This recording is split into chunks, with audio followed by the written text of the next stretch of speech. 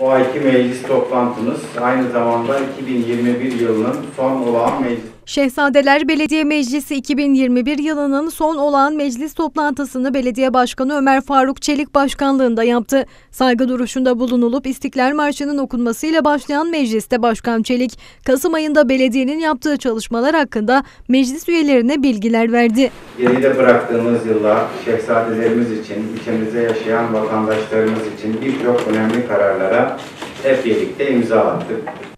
Kasım ayında hayata geçirecekleri iki önemli yatırımın ihale süreçlerini tamamladıklarını kaydeden Başkan Çelik şöyle devam etti. Biz geride bıraktığımız ay içerisinde hayata geçireceğimiz iki önemli yatırımımızın daha ihale süreçlerini tamamladık. Bunlardan ilki belediyemizin Türkiye Diyanet Vakfı Manisa Şubesi işbirliğiyle hayata geçireceği Şehzadeler Aşığı Projesi'nin ihalesi oldu.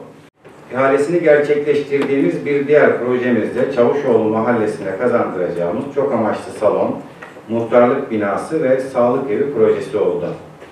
Projede 1 milyon 22 bin TL bedelle yüklenici firmayla sözleşme imzalandı. Yer teslimi yapıldı. Yapım işinin 2022 yılı Haziran ayı sonunda bitirilmesi planlanmaktadır. Başkan Çelik daha sonra Şehzadeler Belediyesi'ne alınan yeni araçlarla belediyenin yapacağı skate park için verilen bakanlık desteği hakkında da bilgi verdi.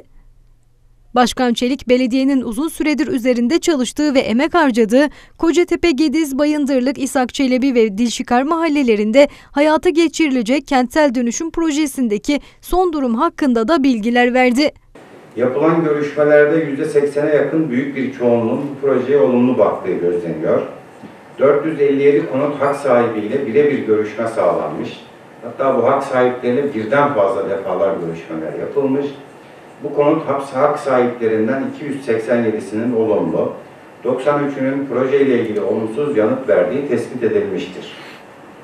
Yine 77 hak sahibi de kararsız olarak görüş bildirmiştir. Bu görüşmelerin sonucunda 185 konutun sahibiyle resmi sözleşme imzalanmıştır.